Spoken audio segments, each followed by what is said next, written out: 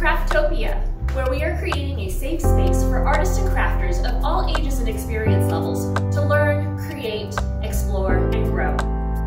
I'd like to invite you to check out our website at www.craftopiawa.com, where you can learn more about our organization and vision and see a list of upcoming classes. You can also follow us on social media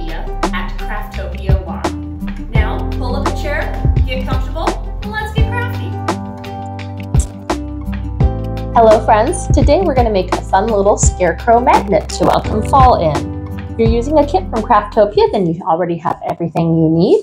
You should have a couple of popsicle sticks. You should have two long ones and then one half one, a couple pieces of paper, a little adhesive magnet, a bag of glue, a paintbrush, and some raffia. That's this papery grass looking stuff. So my sticks are painted white. I don't know why. I just found them in the bin this way and I thought I'll go ahead and use them. Yours will not be white. Um, first thing we're going to want to do is stick all of our pieces together. Uh, you can use glue to adhere the top of that together.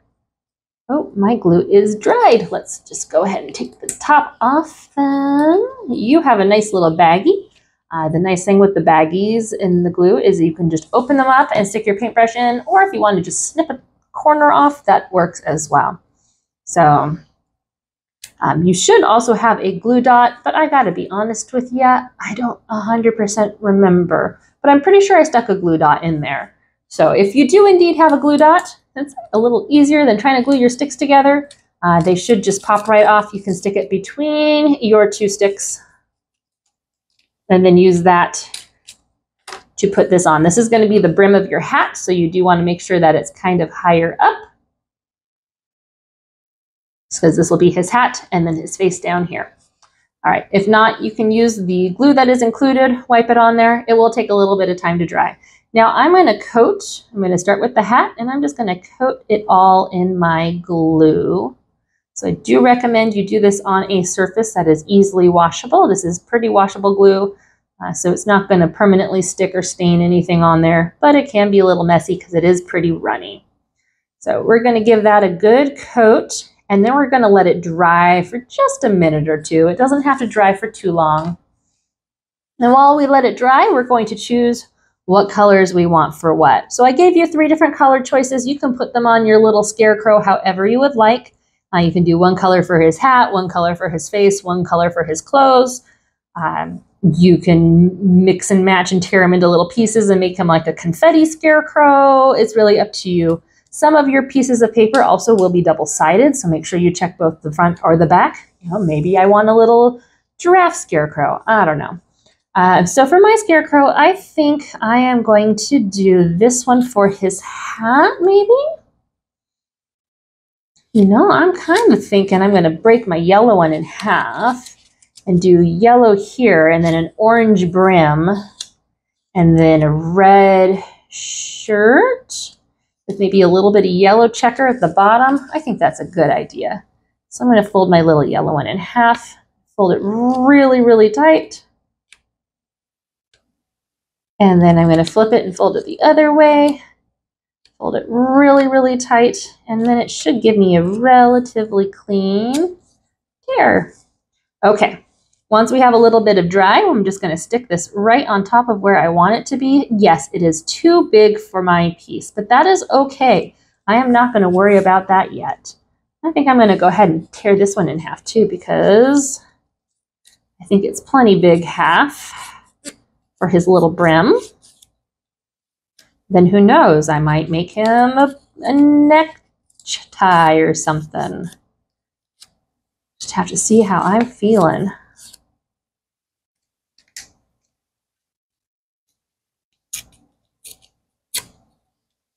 All right, I'm going to stick that right over the top. Now it should be tacky enough that your paper holds on there, but not so tacky that it tears right away. And then we're going to actually coat the top of our paper really good with the glue as well. This should soak into our paper and make it soft enough that we will be able to mold it around our sticks if we want.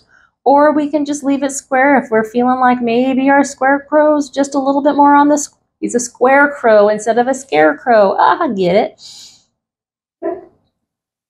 I don't think Adira appreciated my joke. So I got a nice thick layer of this glue. This glue is called Mod Podge and it is used a lot uh, in the arts and crafts world because it does a really good job of soaking into things, especially paper, and sealing them so that they last and last and last. So got that pretty well coated. I'm going to let that sit and soak a little bit. I'm going to go ahead and put his shirt on here. So same thing. I'm going to put a layer of it on the bottom. I'm not going to do it all the way to the top because I want to leave a little space to draw a face on him when I am all done. So we're just going to do this and go ahead and give that a minute or two to dry. So if we do, oh, oh no.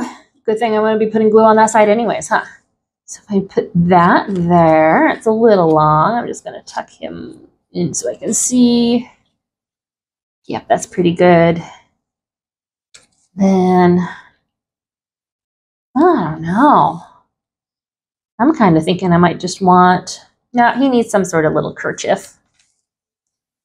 I'm going to give him a little yellow kerchief. Why? Because I can, no other reason. And you can do whatever you want with yours. It is your scarecrow, and there is no right or wrong with this craft. That's the thing I love about arts. Okay. Uh, just take that little piece off. Folded it anyways.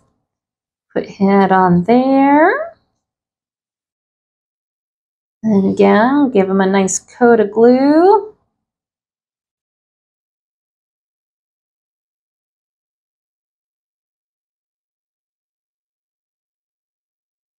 I'm going to put his little kerchief right up there. Give it a nice coat of glue. So you should probably will end up with a lot of glue left over. And that's okay. So it really doesn't take a lot to get this stuff to stick on. Just going to smooth that out a little there. I kind of like his square hat. I think I might leave that square instead of rounding it off, but I am going to tuck these little pieces under. So I'm going to grab them here and as you can see, my stick was actually broken. That's all right. I'm Gonna give a little rub there. I'm gonna go ahead and put a coat down here. I'm gonna fold his shirt up. And using my paintbrush so I don't even have to touch it, just gonna fold it over and dab it on. Fold it over. Now that paper is nice and soaking with all the glue. Should fold, ooh, that's a really little piece. Stay put. Okay. Get a little more here because I didn't really coat his bottom. And fold it over. Hold this one for a second since he wasn't as well coated. Ta-da! Now, if you wanted to, you could actually go through and do the same thing, apply some uh, of the glue and then fold over all of these little bits and pieces too. Uh, you certainly don't have to. I'm going to fold over his kerchief though so that it, oh, actually, I really like that. Now I'm going to have glue on me. I should have thought this through. Aha, there we go. I like it. I'm going to leave his little wings here though, but I will make sure they are coated. And I'm going to just go ahead and smooth out all of the rest of the glue. Now this will take a little bit of time to dry, obviously, as you can see how much glue is on here. Um, but in about 12, 24 hours, depending on how warm it is and how dry it is where he's sitting, uh, he should be completely good to go. I would recommend you wait till he dries entirely before trying to draw on any facial features that you might want, just so that he doesn't stick to your hands.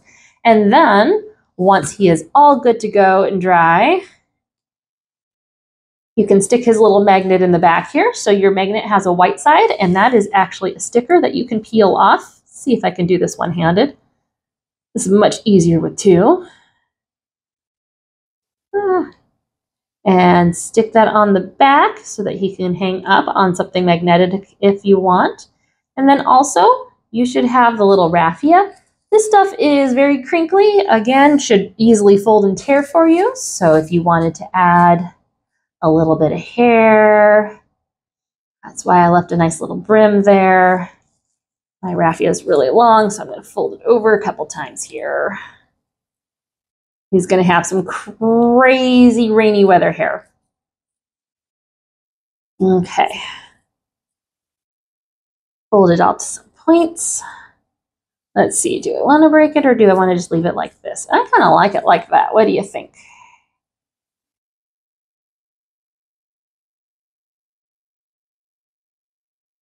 Tuck his hair up in there.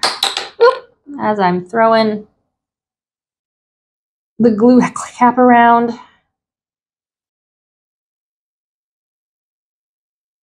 All right. Actually going to use my paintbrush, hopefully, to hold his hair in place. So I can go grab a pen and finish his face. So obviously, he will look much better once he's all dry and in place and not being held together with a paintbrush. But, ooh, I found some wet glue. I'm to give him a happy little eyeballs. And my scarecrow is going to give a little bit of a smirk. Think I'm going to give him a little pointy nose here too. You can do whatever kind of face you want. If he's going to have like a jack-o'-lantern face or a kitty cat face. And again, once he's all dry, he'll stay together a little better. And he will be ready to adorn whatever magnetic surface you want. I hope you had a fun time. Man, he's really having a bad hair day, isn't he? Get back up there, scarecrow hair. All right, there we go. I hope you had a fun time and I cannot wait to see what you created. We hope you had a good time crafting with us today. If you have any questions regarding this project, feel free to leave a comment below or send us an email at info at craftopiawa.com. And be sure to hit that subscribe button so you won't miss out on any future crafty goodness. Until next time!